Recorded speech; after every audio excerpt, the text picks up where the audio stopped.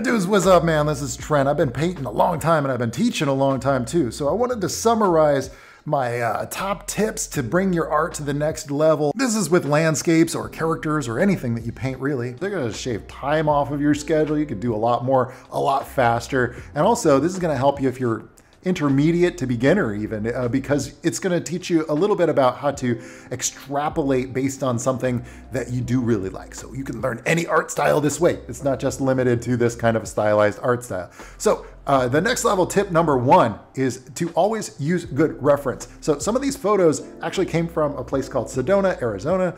And uh, I, I visited there just on like a really kind of a cool little summer spiritual journey that I was going on, try to figure out what my next project was gonna be. It was very relaxing. And then I was looking up photos because I was like, wow, this is like high desert. It's very interesting. All these red rocks everywhere. These are not my vacation photos. These are reference photos.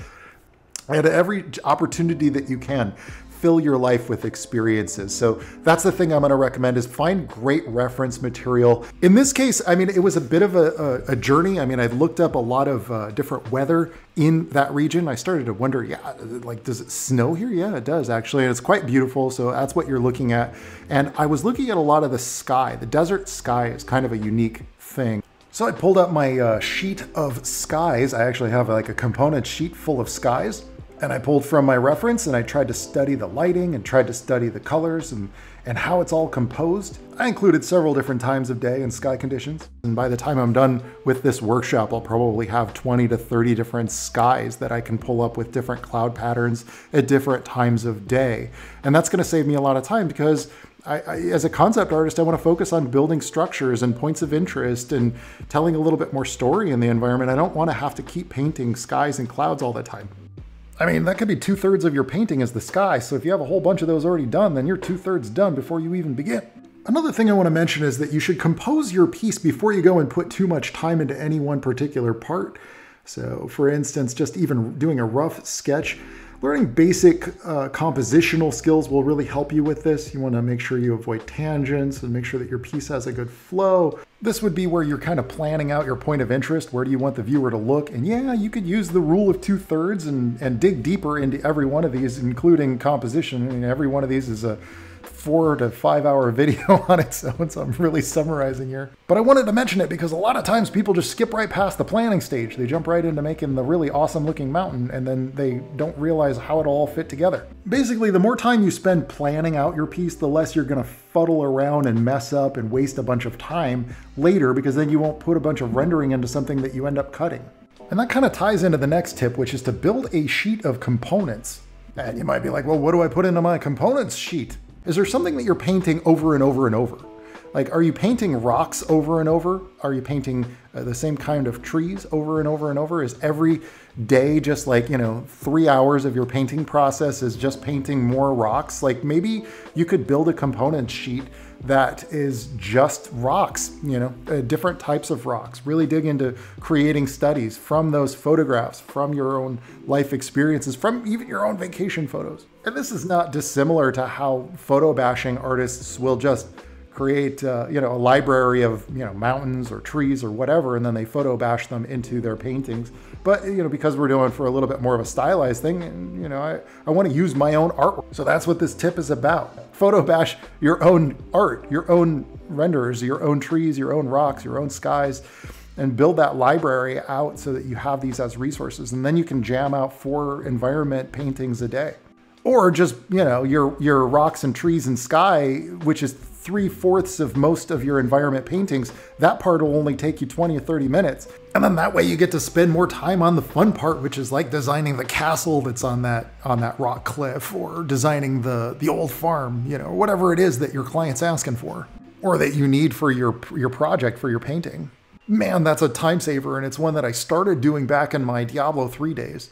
But the beauty of this is that it doesn't have to just be with environments. I mean, if you find that you're painting the same kind of buckles or the same kind of armor, the same type of materials on your character, you can just build a components list of parts and then composite them. And when you do find great reference material, extrapolate on what you found. So in some cases, what I'll do is I'll just cut out like a square inch, and I actually call this my square inch study method. And what I do is I'll take just a square inch, and in some cases it'll just be something like a boulder or a rock, and I will paint exactly what I see from that photo.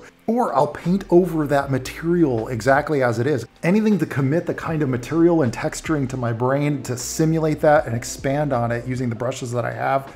And then what I'll do is I'll try to expand on that so that I'm, i can make like a wall out of that same rock material. And the same thing could be done with dirt or mud or uh, a big stone boulder wall or a mountain in the distance. So paint one mountain exactly as you're seeing it from the reference material and literally right next to that, right beside that, even connected to it, expand it to have another mountain right next to it that's not from the reference throw out that reference, get rid of that reference at that point, and this is the test to see if you've actually committed any new information to your memory.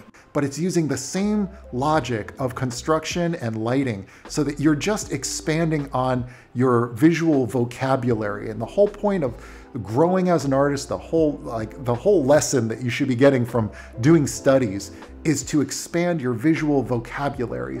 If you ever don't know what to paint, then build onto your components sheet and just do studies and then expand on those studies. This is what people mean when they say practice more. Really, this is what they mean. This is a literal interpretation of what they mean. Uh, doing studies, you will develop your observational skills and your ability to understand how to use the tools. The next tip is to ask yourself if there are custom brushes that you should be creating to do this process. For instance, in this case, uh, if you've watched some of my recent videos, you've seen my grass blades brush, you've seen a couple of techniques on how to create bushes in a matter of one or two brush strokes. Creating a custom brush can end up saving you hours and hours of time. As a digital artist, I feel like it's so important that you're constantly asking yourself, is this a redundant process? Am I doing this over and over? Am I wasting too much time? Am I spending 20 hours rendering grass blades when I could have just done that with two brush strokes? Hey man, I call this video next level art tips for a reason, man. This ain't beginner level tips, uh-uh. And it's easy to fall back on the thing that you know works, you know, the old way. So I'm just trying to encourage you to ask if you can work more efficiently so that you can spend more time working on the craft, the creative part of concept art. For a long time, I was very resistant to reevaluating my process. I guess I thought it would slow me down and it was, I would just go into like a Zen state to just render, you know, and, and get lost in it. And that's not a bad thing.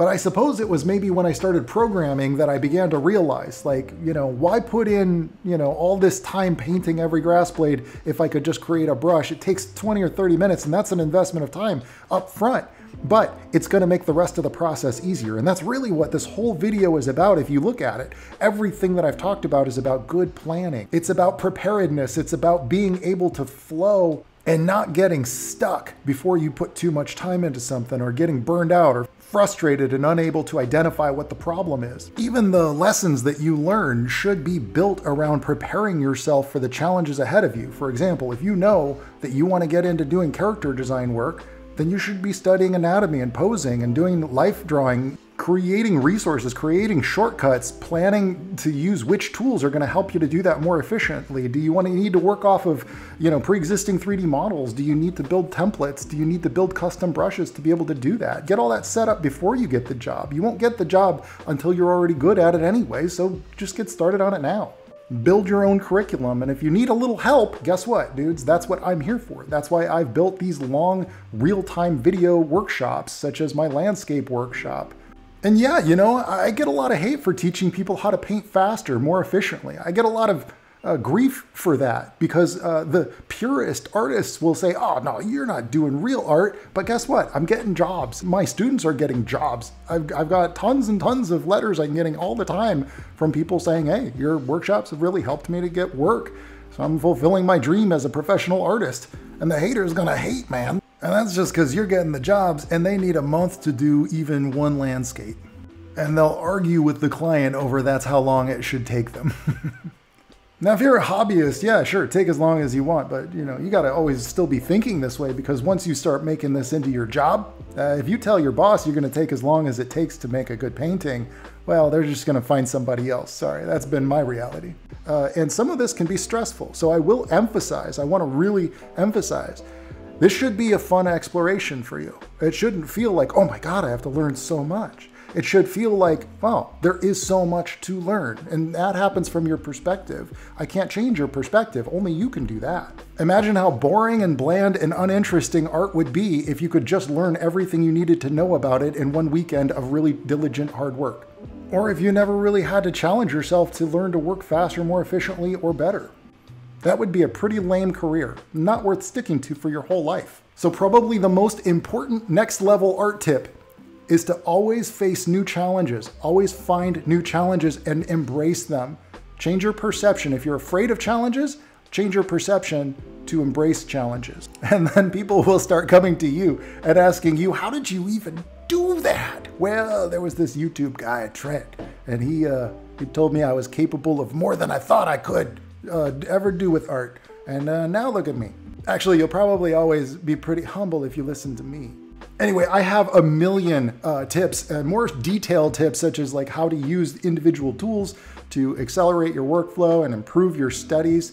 So don't forget to subscribe. I'm here every week. And of course, if you want a lot more hand-holdy, real-time video breakdown, I'm not just talking like a real-time video, I'm talking like I give you the ex explanation of how and why I'm using every brush and, and, every technique in my landscape workshop. This is my newest workshop, so go and check that out if you're really serious about digital art. Right now I'm running my hot winter sale. That's right, at the end of the year sale, so everything is 30% off if you use the code on the screen above right now. A portion of the profits do still go to the ASPCA. That don't stop. I want to make sure that those pups aren't there out there on the streets. My dog is a rescue, so this, this charity means a lot to me. And dudes, I want to thank you so much for stopping by. It's always a pleasure. Seriously, you know, it's it's been a really crazy year. And for those of you who stick by my channel, I want to make sure I'm not giving you the fluff. I'm not giving you the clickbaity titles. I mean, I do that a little bit just to expand the channel, but uh, you coming by, you're you're getting something a little bit more than what most YouTube channels are going to give you. So uh, I do appreciate when you share it around and when you leave a comment and it, when you leave a little like on there. It's actually very appreciated. Uh, all right, dudes, that's it for me on this one. I'll see you in the next video. Ciao.